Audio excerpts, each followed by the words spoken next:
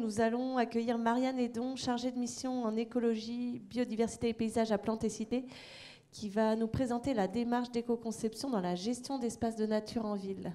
Merci Marianne. Euh, bonjour à tous. Euh, donc je, représente l'équipe de Cités, qui est une association qui a une activité de centre technique autour de la question de la gestion des espaces de nature en ville et, du coup plus largement de la nature en ville. Alors justement, pour replacer un peu le sujet, euh, je vais juste rappeler un petit peu euh, le, contexte euh, des enjeux de nature en ville. Donc aujourd'hui, la conception et la gestion de ces espaces, elle se, réfléchit dans une démarche écologique. Donc ça, ça va inclure d'inscrire son, projet dans son territoire, dans sa globalité. Ça va aussi inclure de se donner des moyens euh, humains et financiers pour euh, atteindre son ambition écologique. Ça veut dire aussi euh, partager le projet. Ça veut dire aussi respecter les sols et aussi préserver les ressources en eau et favoriser la biodiversité. Et comme on l'a vu aussi déjà dans cette matinée, ça veut dire aussi pour ces espaces de nature urbains veiller à la qualité et la provenance des fournitures et penser recyclage. Alors dans ce contexte de, de gestion et de conception et de gestion de ces espaces de nature en ville, comment préserver les ressources, comment faire mieux avec moins. Donc ça, ça veut dire qu'il s'agit en fait d'aménager euh, avec sobriété, soit en pensant les choses en termes d'innovation technique ou aussi en termes d'innovation organisationnelle entre acteurs, entre filières. Et euh, l'idée derrière, comme on a pu le voir euh, déjà ce matin, c'est de pouvoir associer qualité et faible impact environnemental. Donc ça, ça peut se traduire par euh, certaines innovations qui sont euh, l'existence et l'utilisation de signes de qualité des végétaux et aussi de pratiques d'entreprise de, production, de pépinières. ça passe par la création de sols fertiles à partir de déchets, ça a été aussi évoqué. ça passe par l'utilisation de revêtements perméables, de paillage recyclé. Donc certaines de ces innovations, elles sont bien implantées dans la, conception et la gestion de ces espaces de, nature en ville. D'autres voies sont, à explorer. Euh, ça passe en dehors de l'aménagement, ça passe aussi par les questions de, gestion. Et gérer, ça veut dire euh, parfois en faire moins. Euh, ça peut se traduire par le fait de penser autrement la taille des arbustes, de la limiter, d'éviter de réduire l'apport d'eau, donc en pensant mieux aussi les plantations. Euh, et également de mutualiser les matériels et services au sein euh, des services des collectivités, mais aussi euh, entre entreprises. Alors j'ai fait une petite sélection en fait de, recommandations clés pour appliquer des recommandations en lien avec la thématique de la journée aux différentes étapes d'un projet. Donc de la commande jusqu'au chantier. Alors, on est sur la première, euh, la première étape en fait d'un projet, euh, c'est celle de programmer. Donc, avec un objectif euh, d'avoir une demande précise qui est faite à, l'équipe projet. donc, ça, passe par cette recommandation de pouvoir intégrer la réflexion sur la gestion future et au stade de la commande.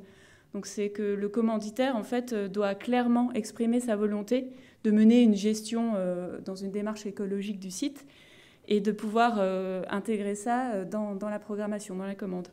Donc il est aussi souhaitable de, pouvoir commander explicitement un plan de gestion qui est détaillé via un plan de maintenance qui décrit les opérations euh, à, mener, un, calendrier d'intervention, aussi de pouvoir commander un état des lieux régulier pour pouvoir ajuster justement ces mesures de gestion. Et au fur et à mesure de la, vie du projet, du site, de l'aménagement et de pouvoir aussi euh, avoir euh, au moment de la commande un cahier de recommandations qui est fait par le maître d'ouvrage euh, pour, dans un but d'optimiser la gestion future. on parlait tout à l'heure de la rédaction des appels d'offres, donc important aussi de penser bien au stade de la programmation la rédaction du marché et en, préparant en fait ce, marché. Aujourd'hui, le sourçage est, recommandé, notamment dans la commande publique, et pour permettre en fait d'adapter sa demande à l'offre existante, à l'offre en, termes de végétaux, en termes de fournitures, de mobilier ou autres matériaux. et, de, justement de pouvoir aussi initier un dialogue avec les fournisseurs et de pouvoir éventuellement penser à un contrat de culture pour avoir une fourniture notamment de végétaux qui soit adaptée dans le temps et en termes de volume et d'espèces à la demande au site. Euh, aussi, quelque chose d'important à avoir en tête, c'est que le meilleur rapport qualité-prix n'exclut pas les considérations environnementales et que euh, on peut avoir euh, du coup des exigences, des considérations environnementales en termes de mobilier, de, de fourniture de matériaux ou de végétaux qui peuvent être très bien inclus dans les critères d'exigence de, de l'appel d'offres et que ces considérations environnementales et le même poids que les autres facteurs qui euh, déterminent l'attribution du marché. Alors ensuite, on, en vient à la, deuxième phase, euh, ensuite à la programmation, donc on, conçoit et on réalise. Donc là, on va garder à l'esprit que le gestionnaire du site doit être associé au dialogue commanditaire-concepteur du projet euh, dans quel objectif bah, Toujours le même, pour une, prise en compte une bonne prise en compte des modalités de, mise en œuvre de la gestion euh, dans la, vie du site, dans la vie du projet. Donc là, on en vient à la question de la stratégie de la bonne plante au bon, endroit. Donc on a évoqué ce matin euh, s'il y a nécessité de plantation. Voilà, s'il y a nécessité de plantation, d'avoir cette stratégie en tête. Parce que cette stratégie de la bonne plante au bon endroit, elle va contribuer donc au, concept d'éco-conception qui ont été, euh, dont c'est le thème aujourd'hui. Et, finalement, l'objectif, c'est bien de minimiser les efforts de gestion euh, qui seront nécessaires pour, la suite. Euh, donc derrière ce concept de stratégie bonne plante au bon endroit, il y a l'idée en fait que hum, d'avoir des plantes qui sont adaptées au sol, au climat, mais aussi aux pressions parasitaires qui peuvent être assez fortes aussi dans des milieux anthropisés.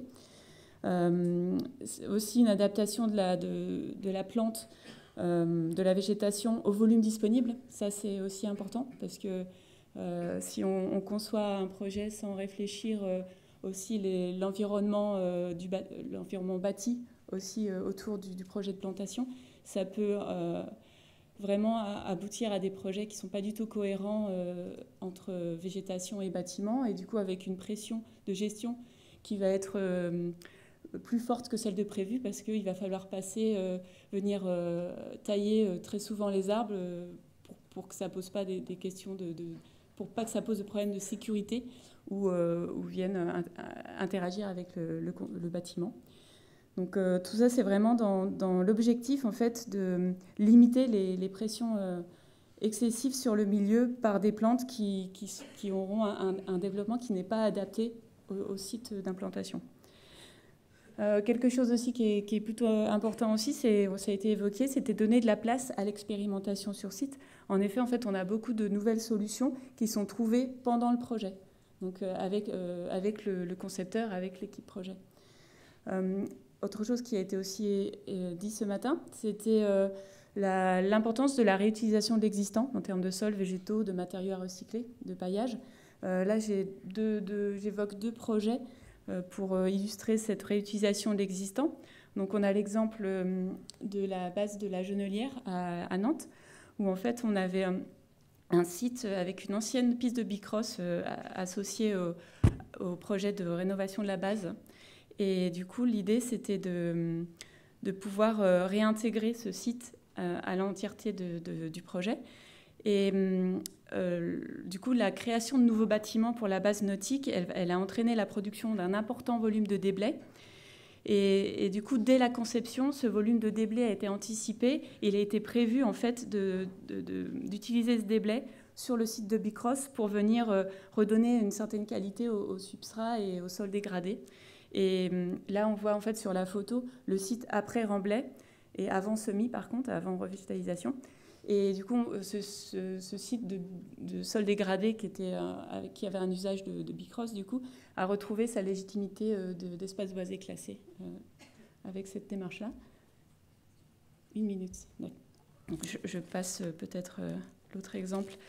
quoique non, ça va aller. du coup, l'autre exemple, c'est celui du parc de Saint-Vincent à Perpignan, qui a été vraiment pensé, la conception du projet elle a été pensée par rapport à, au comportement euh, hydrographique du site. Donc, dès la conception, il a été pensé des zones inondables temporaires dans un parc urbain, avec un usage urbain du coup. Et on a derrière des matériaux adaptés. On va, avoir des, sablés et des stabilisés qui sont à base d'argile et qui sont remis en place une fois par an après chaque période d'inondation. Et pareil, dans la conception, il n'y a aucune bordure qui a été installée pour mieux en fait faire que la gestion soit, soit moins coûteuse en temps. Et, euh, dernière phase, euh, peut-être, euh, oui, la, phase de, chantier, d'évaluation des chantiers. Donc ça a été déjà évoqué, cette importance en fait de, penser l'économie circulaire des déchets. Donc c'est valable aussi pour les déchets verts des espaces de, nature en ville qui deviennent aujourd'hui autre chose qu'un déchet, qui, deviennent une ressource à utiliser. Euh, et aussi quelque chose que je voulais mentionner, c'était à avoir en tête, c'est qu'il existe différents outils pour formaliser en fait l'engagement de tous les intervenants euh, du, chantier euh, en termes de, frugalité, sobriété et, considération environnementale. Et ça, ça peut passer par la réalisation d'un cahier de contraintes fonctionnelles de chantier qui met à plat en fait des considérations à partager par tous les acteurs. Donc, ce sont mes propos et les illustrations. Vous pouvez euh, aller plus loin euh, avec ces deux ressources qui sont euh, publiées par le réseau Planté-Cité. Donc pour le, guide de, gauche sur conception écologique d'un espace public paysager, c'est un, livrable qui est accessible sur le web. et l'autre publication papier n'est pas accessible sur le, le web, mais accessible par commande. Je vous remercie.